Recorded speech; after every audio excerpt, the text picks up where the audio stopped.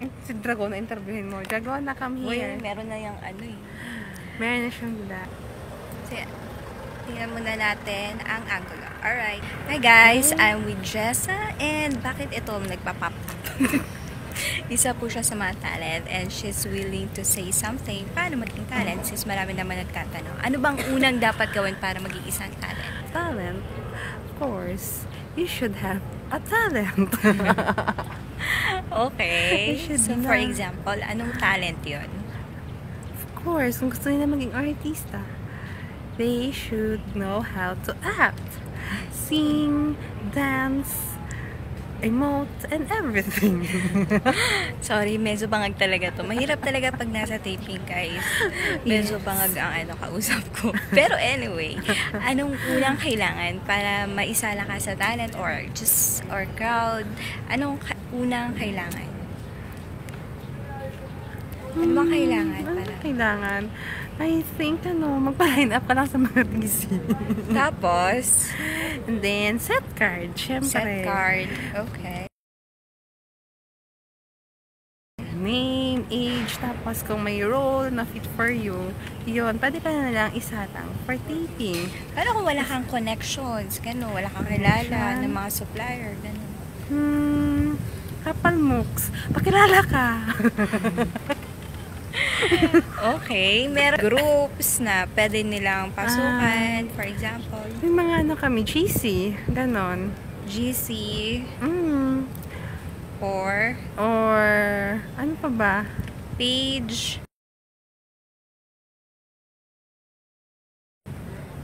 Page. Kasi ako before, ano, workshop. O, pag nag-workshop ka, tas yun, pwede ka nilang isalang.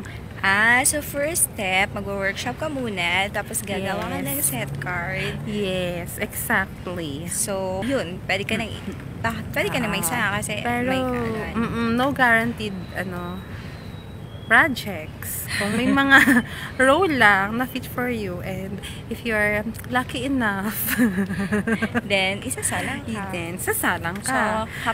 Bottom line is, pakapala ng mukha. yes. Okay, so yun lang. overconfident ka. Okay, thank you.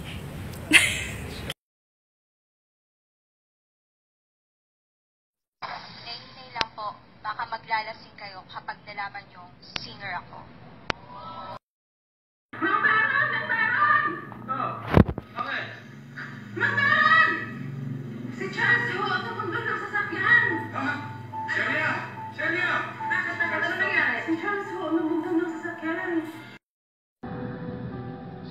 Kayo ho ba si Attorney Ledesma? Yes? Dito po kasi ako pinapunta. Akin ang hawak.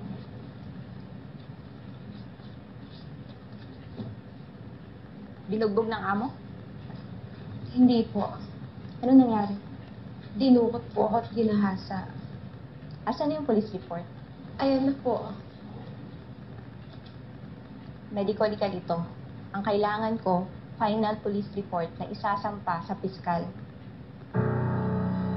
Pero yun lang po yung binigay nila sa akin. Bumalik ho kayo sa presinto. Hingin nyo yung report. Pero, pero ma'am... Mrs., I'm sorry. Huwag natin aksayahin ang oras. Napakarami namin hinahawakang kaso. Kung wala kayong police report, hindi ko kayo matutulungan. Malinaw ba? Sige po, ma'am. Kukunin ko na lang po yung mga papel.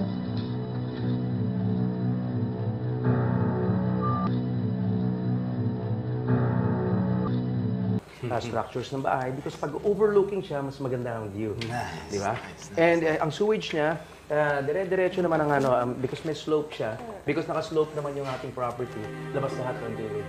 Okay? That- Underground rock, lahat pala yung electrical natin.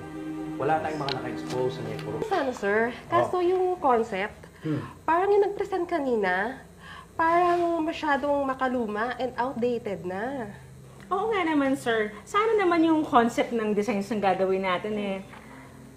Hindi yung parang panahon pa ni Magellan. Parang yung, gumawa. Ah, excuse me ha, may problema ba kayo sa concept ng asawa ko?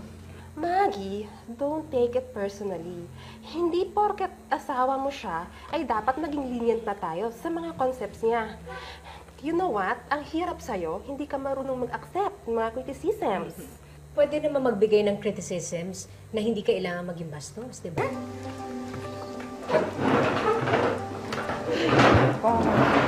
Sa tayo dito, okay?